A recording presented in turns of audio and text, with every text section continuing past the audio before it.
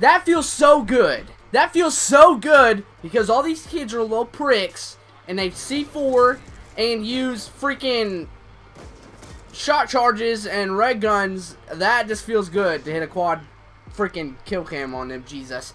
Oh my god, these kids were seriously the worst free-for-all players I've ever played against. So usually I don't start, you know, my videos off with a clip, but, you know, I was just playing, and I was like, dude, these guys are so bad, like, I, I don't even know if I can play, like, right now. So I figured I would talk about, you know, some free-for-all players, and uh, you know, how free-for-all kind of is getting ruined a little bit just because everyone plays it now. Literally everybody plays free-for-all now. Back a year ago, dude, nobody played free-for-all. Everybody was, you know, playing S&D.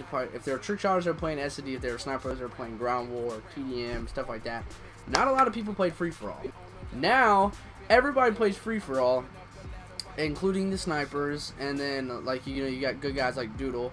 And then you got, you know, trick shotters who do it. And then it's crazy because the trick shotters think they have an excuse so they don't have to snipe to get the last. So they use overkill and run a submachine gun with, like, shock charges and C4s like, what? I'll admit, it's fun to go for shots and free-for-all. Do you guys, like, not enjoy going, like, getting free-for-all, like, sniping, sniping clips? I mean, it's not that hard. Like, all you have to do is develop a decent shot and you can get I mean, you could be a free-for-all sniper. It's not that hard. Like, you, you gotta know spawns, and you just gotta be able to land your shots. Like, an average day, I see just so many people that are sweating. I don't know how it's gonna be with uh, Black Ops 3 coming out like I said, I mean, I'm not gonna do like, oh my god, Black Ops 3, this, this, that, and that's the new Call of Duty confirmed, and here's all the cool stuff about it. Let's look at the hints and the trailers and see what kind of guns. I'm not, I'm not about that. I'll let other people do that. I think people overhype. It seems like when you overhype something when it comes out, it's just not that good. Like for example,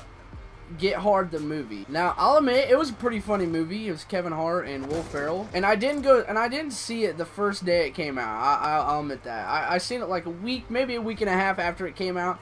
And you know, I talked to some people. You know, I don't like to have them spoil it for me, but I like, I'm like, yo, dude, is it funny? Like, is it worth going seeing? And like, oh my god, it's the funniest movie.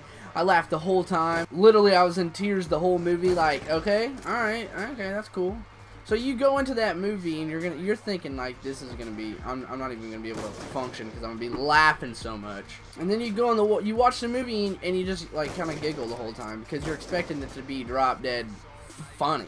And it kind of and it kind of ruined the movie for me. I went with Cole, who was in yesterday's video, Max, who goes down to a college uh, where we where we went down, and Cole's girlfriend, and uh, Drew. Uh, he's he's been in a couple of my live streams. He's Frederick Tipton. He also went with us.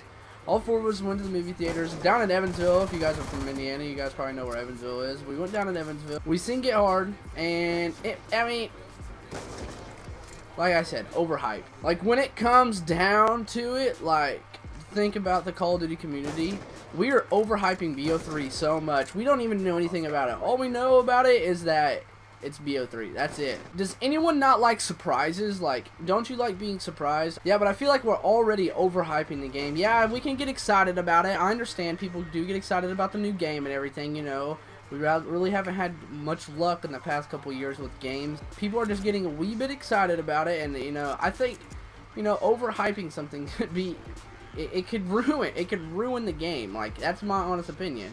And I don't want, I don't want Black Ops 3. I want, I want Black Ops 3 to be a game that eh, people will actually stay on and play honestly, I want to know what your guys' opinion is, you know, on free-for-all players getting the last, and also, I want to know you guys, I want to know what you guys think about Black Ops 3. I, I know, like, I'm not going to be talking about, this is probably the only video I'll talk about BO, BO3, legit, like, legitimately. Alright guys, but that's the end of the video. I know I changed shirt because I just looked at, I'm editing right now and I was like, I didn't even do an outro. But yeah guys, uh, let me know what your opinion is. Um, you know, subscribe if you haven't already. Make sure you like the video like I said, let me know what your what your thoughts that are down in the comments. If you agree with me, disagree with me, whatever, you know.